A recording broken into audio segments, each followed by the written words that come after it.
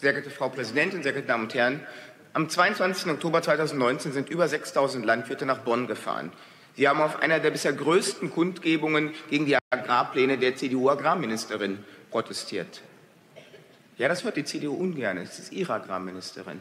Heute, drei Monate und viele Proteste später, sind wir immer noch meilenweit von einer bauerfreundlichen Politik entfernt.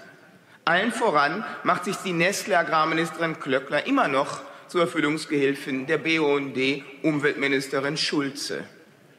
Eine verschärfte Düngemittelverordnung wider dem gesunden Menschenverstand, weitere Einschränkungen beim Einsatz von Pflanzenschutzmitteln und eine massive linksgrüne Umverteilung von EU-Agrarsubventionen. Und das, das muss auch noch gesagt werden, mit freundlicher Unterstützung der NRW-Landesregierung und ihrer grünen Umweltministerin Frau Hein-Esser.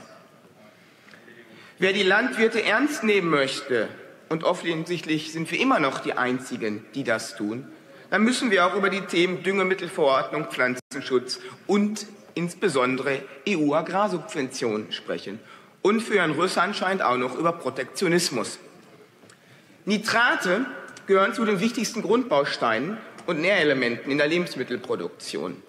Die Nutzpflanzen nehmen diese Grundbausteine auf und wandeln diese durch Photosynthese in lebenswichtige Proteine um. Eine ausreichende Versorgung der Nutzpflanzen mit Nitraten ist für das Pflanzenwachstum und zum Schutz der Bodenfruchtbarkeit ganz einfach unverzichtbar. Wie der Name schon sagt, sind es sind Lebensmittel, also Mittel zum Leben. Wir brauchen sie und die Pflanzen brauchen entsprechend die Nitrate.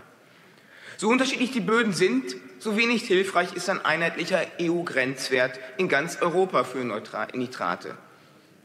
Das Problem, was hier also von der Politik geschaffen wurde, ist ganz einfach künstlich erzeugt worden. Bis heute fehlt hier Wissenschaft, der wissenschaftliche Anspruch bei der Beurteilung der Nitratbelastung ein aussagekräftiger Gesamtwert für die Nitratbelastung, den man auch mit anderen Bundesländern vergleichen kann, existiert einfach nicht.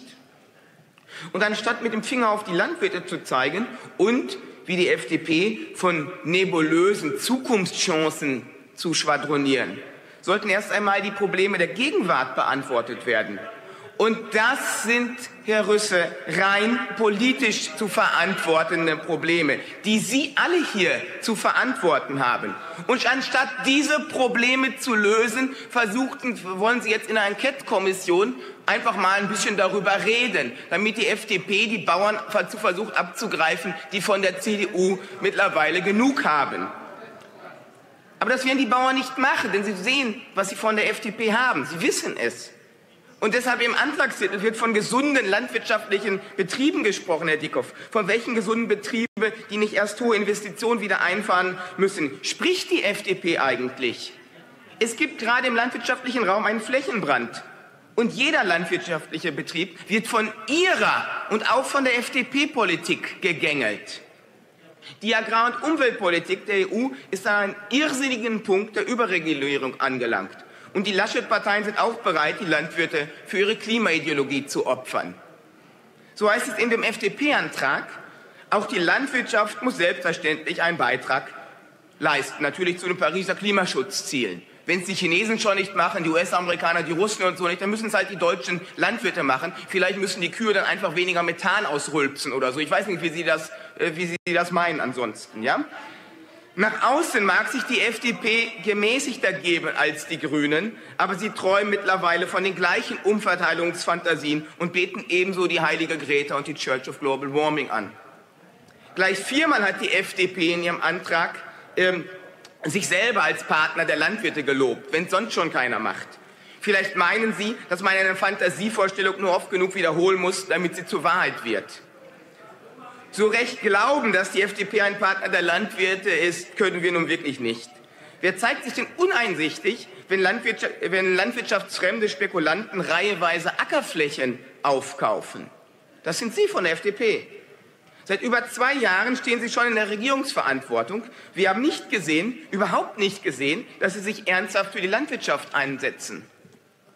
Das Spielchen mag vielleicht auf der Bundesebene mit der One-May-Show Lindner ein ganz klein wenig funktionieren. Nicht aber hier in Nordrhein-Westfalen. Denn hier steht die FDP noch in der Regierungsverantwortung. Es gibt viel zu viel, wofür die Landesregierung kritisiert werden kann. Schlussendlich geht es jedoch uns darum, Hat der Landwirt etwas davon oder nicht? Wir glauben, dass sich die Gegner der Bauernschaft nicht mehr so leicht wegducken werden können, wenn wir die Landwirte als Sachverständige hier in den Landtag einladen. Wir werden unseren Auftrag als einzige konservative Oppositionspartei selbstverständlich auch in der Enquete-Kommission zur Landwirtschaft wahrnehmen. Und wenn ich die Reden hier gehört habe, dann ist es dringend nötig. Vielen Dank. Vielen Dank, Herr Abgeordneter Bleck.